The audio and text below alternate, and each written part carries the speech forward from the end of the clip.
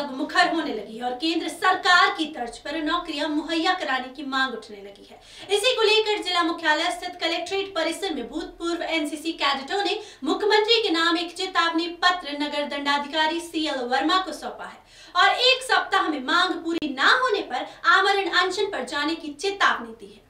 भूतपूर्व NCC cadet गौरव नामदेव ने कहा कि केंद्र सरकार द्वारा समस्त सशस्त्र वैकेंसियों में एनसीसी कैडेटों को बोनस अंक और प्राथमिकता दी जाती है। लेकिन मध्य प्रदेश की शिवराज सरकार अभी तक हमें प्राथमिकता नहीं दे रही है। इसलिए इस मांग पर विचार किया जाए और यदि एक सप्ताह में हमारे इस मांग पर मध्य प्रदेश सरकार ने विचार नहीं किया और सशस्त्र बलों में एनसीसी कैडेटों को प्राथमिकता नहीं दी गई तो सभी एनसीसी कैडेट एक सप्ताह बाद अनिश्चितकालीन आमरण अनशन पर चले जाएँगे।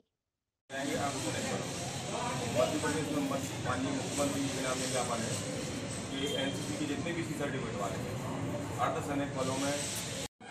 मेरा नाम गौरव नामदेव है, मैं भूतपूर्व एनसीसी कैडेट हूँ। आज हम समस्त भूतपूर्व एनसीसी कैडेटों ने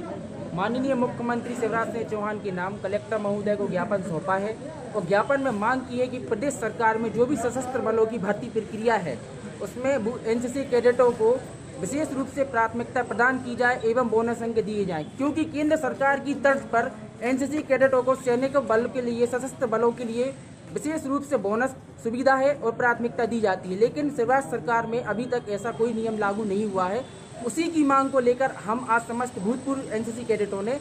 माननीय कलेक्टर महोदय को ज्ञापन दिया है और ज्ञापन में मांग की है कि हम सभी एनसीसी कैडेटों को प्रदेश की सभी सशस्त्र भर्ती प्रक्रिया में हम लोग को प्राथमिकता प्रदान की जाए। एवं अगर सात दिनों के भीतर भीतर हम लोगों की मांग को पूर्ण नहीं किया जाता, एवं विचार विमर्श नहीं किया जाता है और हमारी समस्याओं का निराकरण नहीं किया जाता है तो हम सभी एनसीसी कैडेट आमरण अनशन करने के लिए बाध्य होंगे।